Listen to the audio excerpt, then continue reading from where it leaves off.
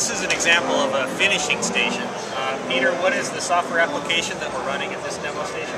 Uh, this is Autodesk Flame Premium 2013, um, brand new, and uh, it's with this iteration that Autodesk has standardized on uh, Dot Hill storage to power all of their Flame Premium installations. So that really says a lot about Dot Hill storage. Autodesk's reputation depends on the real-time performance of these systems, and it takes very high performance storage to be able to enable that.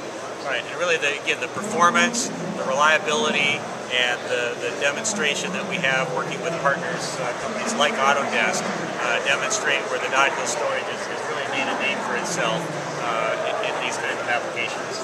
Absolutely. It's really about enabling artists and creativity and not putting any roadblocks in, in terms of speed and reliability between uh, an artist and his deadline.